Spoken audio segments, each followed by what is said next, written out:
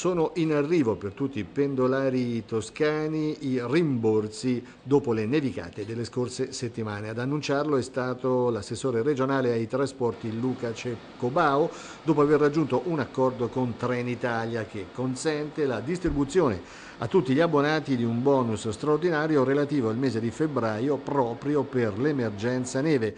È stata una iniziativa doverosa, ha detto Ceccobao, nei confronti soprattutto dei pendolari. Le forti nevicate hanno provocato rallentamenti e soppressioni che, anche se programmate dal piano neve delle ferrovie dello State, con l'obiettivo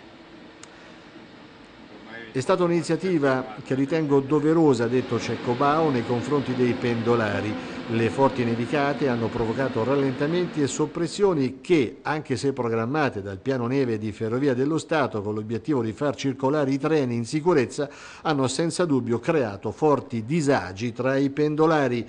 Il bonus straordinario consisterà in una riduzione sul costo dell'abbonamento di aprile che nella maggior parte dei casi sarà applicata direttamente dalle biglietterie di Trenitalia.